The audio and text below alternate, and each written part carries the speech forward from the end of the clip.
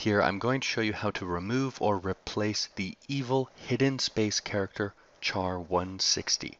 This is also known as the non-breaking space character, but it is the evil space because it looks like a regular space, it behaves like a regular space, everything when we look at it is like a regular space until we go to clean or alter these cells and then we find out it's not a regular space.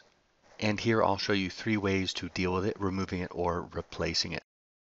Before we start, check the video description and click the link to Teach Excel so you can download the files for the tutorial and follow along. And make sure to subscribe and accept notifications so you can see all the new tutorials. So let's take a look at the first example right here and notice these are my example cells and here I have a count of how much text is in them, how many characters, and over here once we deal with them, that's how many characters are left in the cell.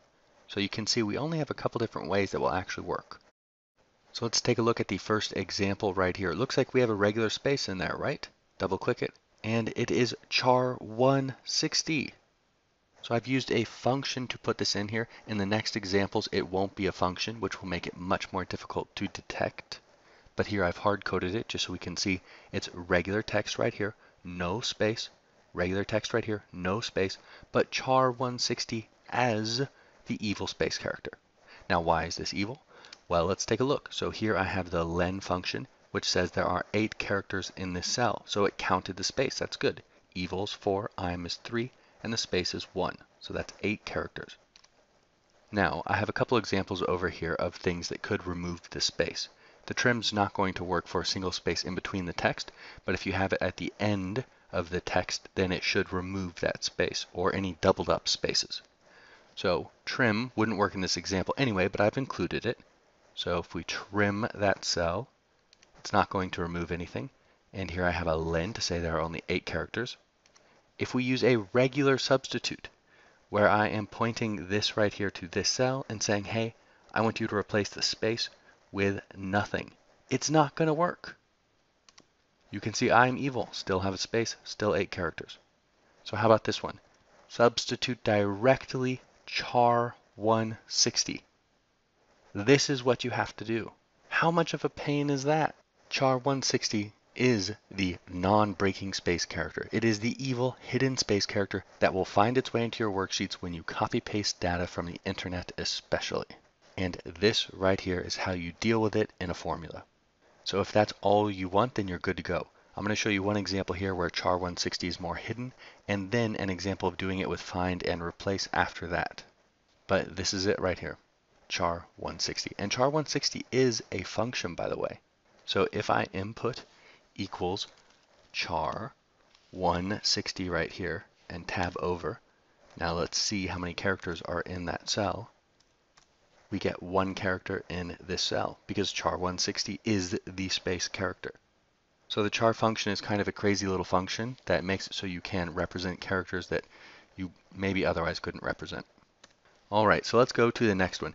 I'm more evil. Now, why is this more evil? Let me delete this guy and show you why. So here you see that there's a function in it. Okay, that's great. When I double click it, I know what's going on. But how it's going to be is like this, where I copy it. I'm going to go here and Alt ESV enter. That's paste special values. Now when I double click the cell, Nothing. It just looks like a regular space. But it is not. It is an evil space. So len here, 8. Trim, as I've mentioned, is not going to do anything here unless you have a space at the end. So you can test trim with that. Substitute though. I'm evil. Substitute space for no space. Still 8 characters with the len function. So not happening. You still have to do char 160 the problem? Well, the real problem is when you look at this, you can't tell that it's the non-breaking space character because to us humans, a space is a space, but not here. So this shows you that the char 160 can and will usually be quite hidden, but we use the same method to clean it out. Now let's go down here and do the find replace. So still here we have char 160 right in there and I will delete it just to make sure and we'll start from our template up here, Control C, Alt E S V enter.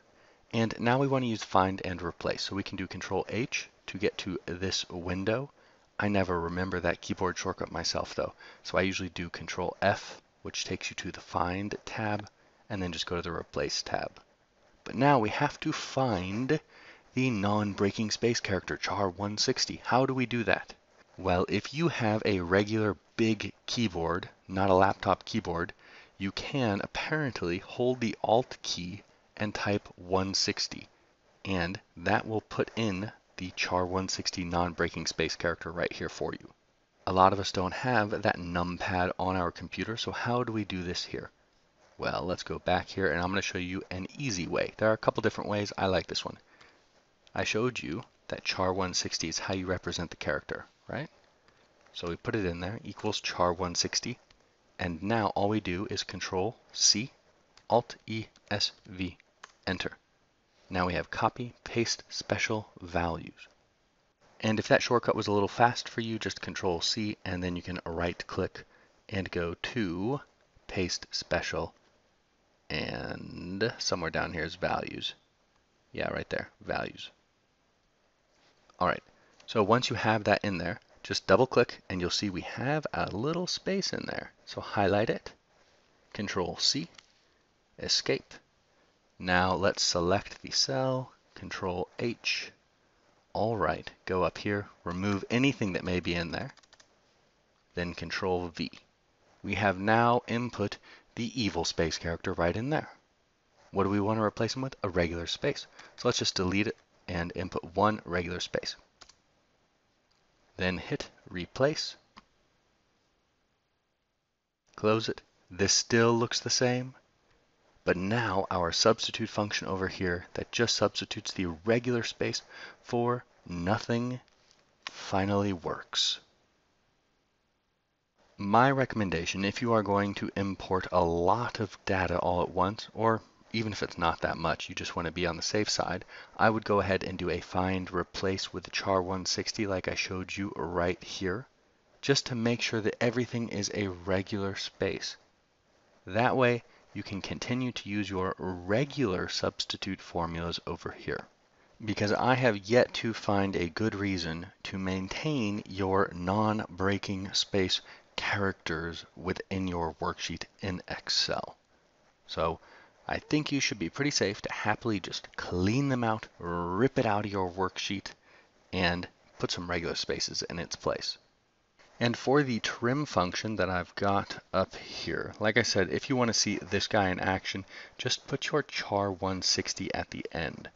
So if you took this and you go here and you copy this guy here, go to the end, paste him in, and the trim should remove that, right? So if I had an extra space at the very, very end, a regular space. Let's see how confusing we can make this. Then trim would remove the regular space. You can see 10 here and 9 here. But I'm going to go ahead and remove this extra stuff. We don't need to test this right here. And one thing I want to leave you with is there's a very, very interesting function for figuring out that this evil character is char 160. So let's say that you've got this guy here, okay? And you're running your substitute function and you're saying, why is this 8? It shouldn't be 8. It should be less than 8. It should be like this right here. So you know there's a problem with the space, right? So what you can do, double click here, go like this, copy it, escape, go down here, paste that in. Now let's go over here and we're going to use equals code. This is a great little function that when I click this and hit enter, it's going to tell me what character it is. Character 160. So now you know that you have to deal with character 160 right there. You have to use that in your substitute function, or you have to use that in your find and replace function. That's the character you have to use. What would a regular space be? Let's check it out. So if I delete this, and hit space, it's 32. So that is the regular space. Anytime you think life is going to be easy in Excel, there is always some way that it can eat up hours and hours of your day. So please be careful when you get these evil, evil characters. Add char 160 to the Rolodex of annoying things that you must remember when you import data into Excel or you have to clean any data. I know that it is horrible to have to remember this, but it will save you hours. I hope you liked the tutorial. If it was helpful, don't forget to give it a thumbs up and make sure to subscribe and accept notifications so you can see all the new tutorials.